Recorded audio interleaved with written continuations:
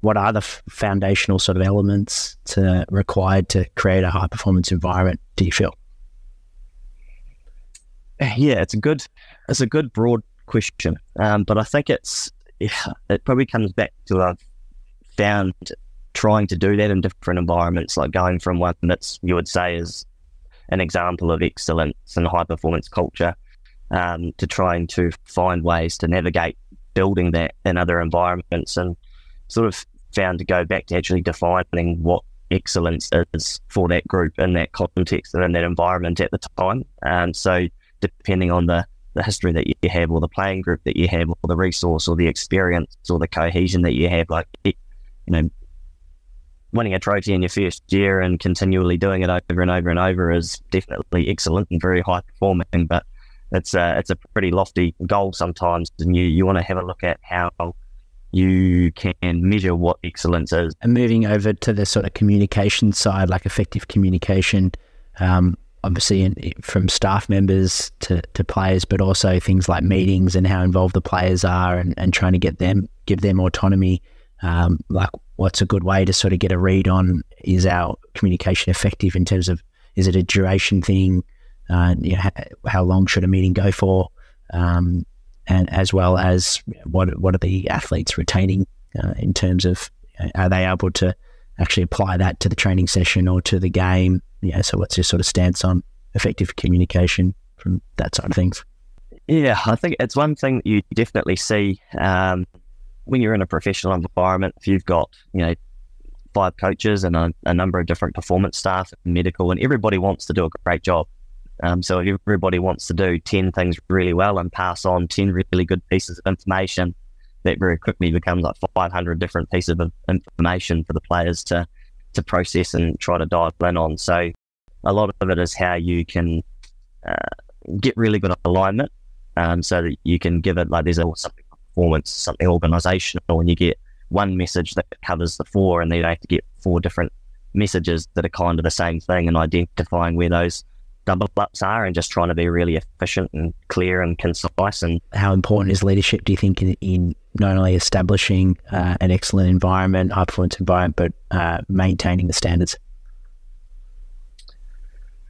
Uh, crucial. And it just such different types of leadership, I think, too. Um, not just having uh, a view that maybe your most experienced staff members or your most experienced players in your team are the leaders. Like you can have some very, very experienced players who aren't necessarily leaders within the group, um, but they just they've got good experience to pass on, but they lead in different ways. So sometimes leaders are great by leading by example. Some guys are really good with with a narrative and with words and, and creating a clear picture in people's minds. What strategies or techniques do you have for, for managers to help the whole department sort of get over uh, challenges and setbacks? Yeah, it's it's something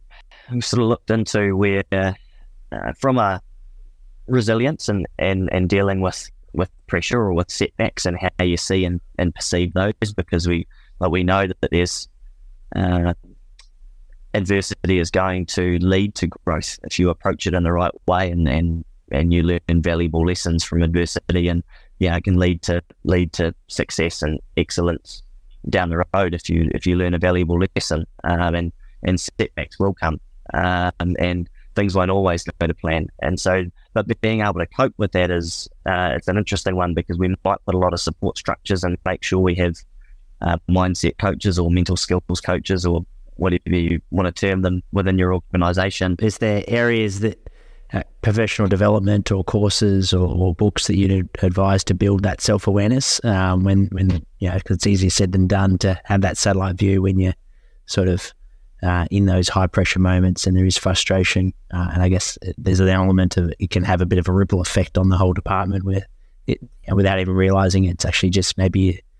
one of the players that's sort of fed that on to you or, or a staff member and so forth, but to be able to reset and actually look at it like, well, this is an area that we can learn and actually get better and perceive it that way, opposed to, um, yeah, like you said, getting emotional and, and reacting. Yeah, I think I think really early days with Canterbury, we did a, a good course that was it was like an optimism focused course um, that because it's sort of as a, as a default um, as high performers or just as people and humans really like we default to negative. Um, you know, you you you're very slow to reward yourself for the one thing that you do well, but you're very quick to punish yourself for the ten things that you feel like you didn't do very well, and and that's what we focus on. You know, if you give somebody you give somebody a, a, a balanced amount of feedback, um, the thing they're going to hold on to is going to be the thing that you that they perceive you said they didn't do well or need to get better at because we're especially in an environment we're taught to constantly seek improvement